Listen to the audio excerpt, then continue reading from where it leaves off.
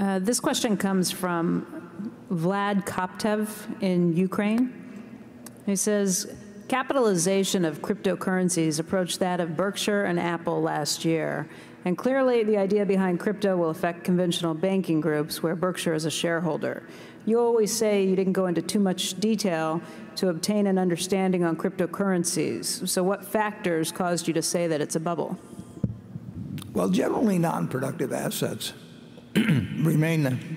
You know, if you had bought gold at the time of Christ and you figure the compound rate on it, you know, it's it may be a couple tenths of 1%. Uh, the, it, it, it's, it essentially is not going to deliver anything other than supposed scarcity, you know, because they'll only, you can only mine so many. But so what? I mean, what, is, what does it produce itself? You know, the check is a wonderful idea. Just imagine how the world would be without being able to write checks or have wire transfer of funds. But it doesn't make the check intrinsically itself worth a lot of money. And if you said you can't use something called check with a little piece of paper, you'd do something else to transfer money. I, I think that anytime you buy a non-productive asset, you are counting on somebody else later on to buy a non-productive asset because they think they can sell it to somebody for more money. And it's been tried with tulips and it's been, tried, it's been tried with various things over time. And it does come to a bad ending.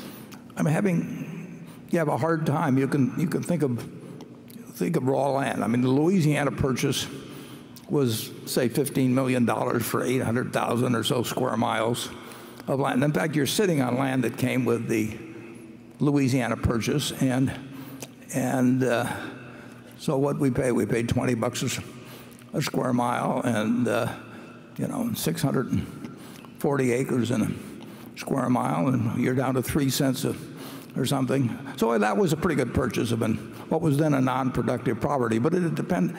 But it's very hard. You can buy st stamps. Bill Gross got every, you know, collected a wonderful stamp collection, and it, it sold for more money in the end but it's dependent on somebody else wanting to buy, hoping they will sell it for more money and so on.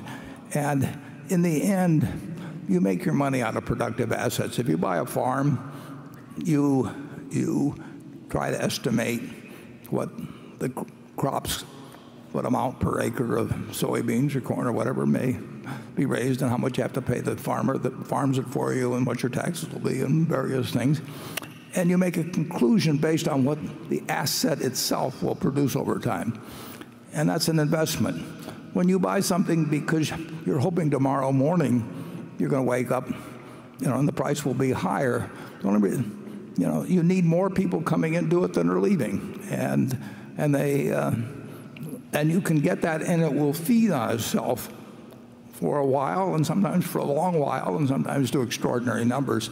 But in the end, but they come to bad endings, and cryptocurrencies will come to bad endings. And it, along with the fact that there's nothing being produced in the way of value from the asset, that, that uh, you also have the problem that it draws in a lot of charlatans and that sort of thing who are trying to create various sorts of exchanges or whatever it may be. It, you know, it, it's something where, where people who are of less than stellar character see an opportunity to uh, clip people who are trying to get rich because their neighbor's getting rich buying this stuff that neither one of them understands. It will come to a bad ending. Charlie? Well, I like cryptocurrencies a lot less than you do. and so to me, it's just dementia. And I think the people who are professional traders that go into trading cryptocurrencies, it, it's, it's just disgusting. It's like somebody else is trading turds and you decide I can't be left out.